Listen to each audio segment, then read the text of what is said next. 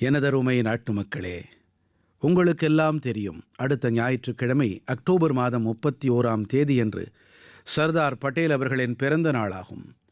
மனதின் குரலின் ஒவ்வொரு நேயரின் தரப்பிலிருந்து என் தரப்பிலிருந்து இரும்பு மனிதருக்கு நான் பல பல வணக்கங்களை காணிக்கையாக்குகிறேன்.